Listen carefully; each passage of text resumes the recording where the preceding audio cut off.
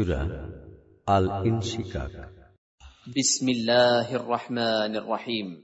পরম দয়াময় নিরতিশয় মেহেরবান আল্লাহর নামে।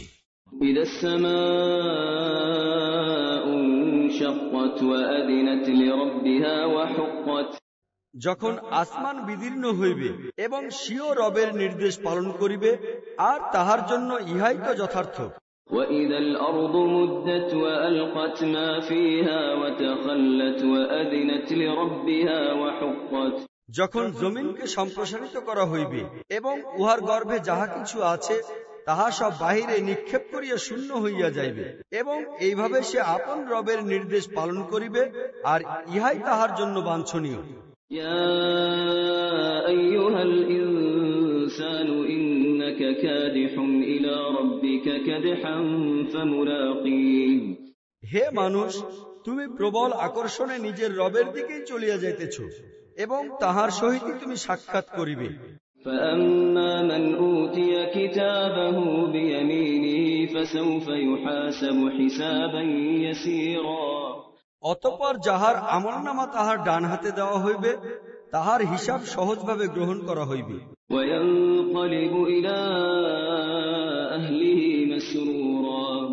এবং সে তাহার আপন লোকজনের দিকে সানন্দ চিত্তে ফিরিয়া যাইবে।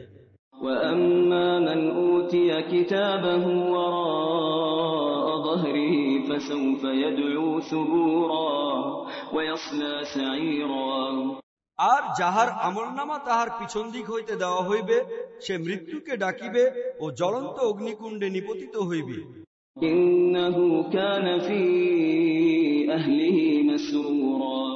সেই ব্যক্তি নিজের ঘরের লোকজন লইয়া আনন্দে মগ্ন ছিল।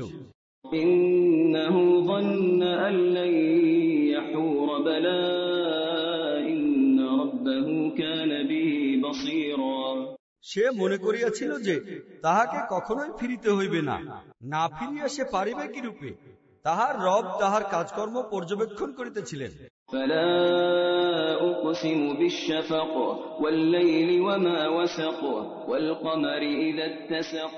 আমি শপথ করিতেছি উষাকালের রাত্রের এবং উহা যাহা কিছু আচ্ছন্ন করে তাহার আর চন্দ্রের যখন উহা পূর্ণ চন্দ্রে পরিণত হয়।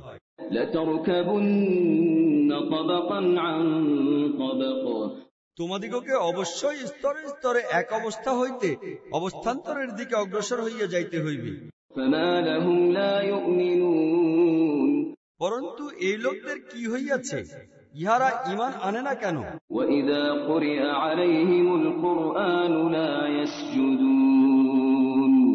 আর তাহাদের সামনে যখন কুরআন পাঠ করা হয় তখন সিজদা করে না কেন? বলিল্লাযীনা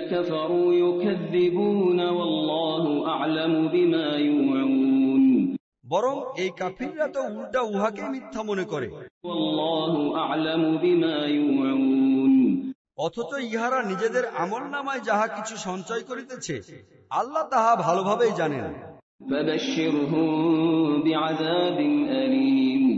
কাজেই ইহাদিগকে পীড়াদায়ক আজাবের সুসংবাদ দাও।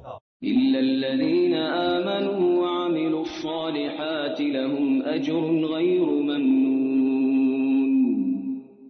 অবশ্য যেসব লোক ইমান আনিয়াছে আর যাহারা নেক আমল করিয়াছে, তাহাদের জন্য অশেষ অফুরন্ত শুভ প্রতিফল রহিয়াছে।